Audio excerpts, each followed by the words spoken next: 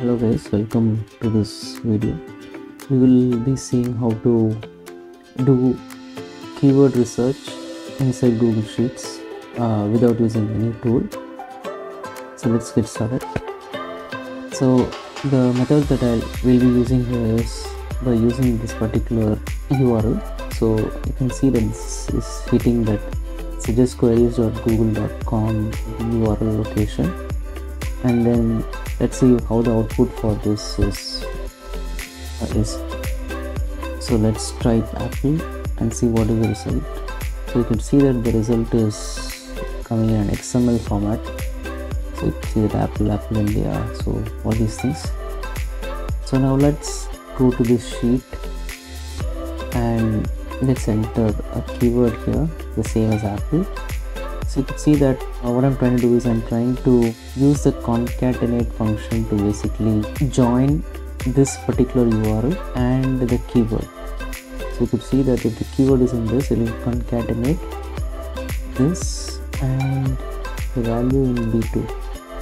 You could also say into concat this so value here comma this. So you could see that this is what it is you see that we have got a final url here. Now let's see how we could get this data inside google sheets. So now we'll use the import xml function. So now so we'll import xml the data in b2 and we'll take the data that is under suggestion and slash data. So it is coming in the suggestion or data. So if you want to know how the import xml function works you could just uh, check out google and check out how import xml works. List of operators that you could give so this is the usage for import xml you have to give the xpath query. So if in case you want to know how to use an xpath query you could check out certain videos. So usually what happens is we go here and then we say copy copy xpath uh, so you'll have to little bit fine tune that so that is beyond the scope of this video. So let's restrict ourselves to this particular thing. So now you could see that we get all the suggestions for apple. So if you are trying to do anything else search engine optimization. So you see that it gets a list of all the autocomplete data that is available in google. It's much more accurate than other tools. So you rely on this. See that i have had a massive created this massive google sheet which basically gets all this information for a given keyword. Let's assume we want to do some keyword research for a query like what else? Let's take this keyword carpenter bees so you could see how many keywords that we are getting for this particular query.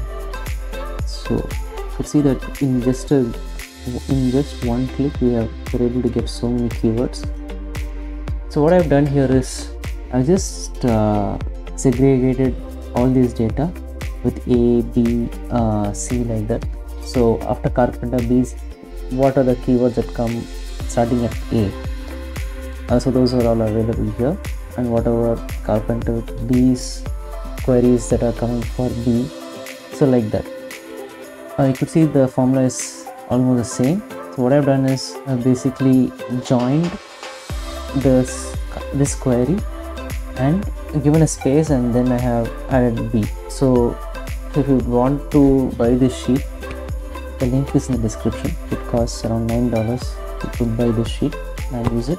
If not, you could just uh, use this formula to build your own Google sheet if you do not want to pay for it. So yeah, it's up to you.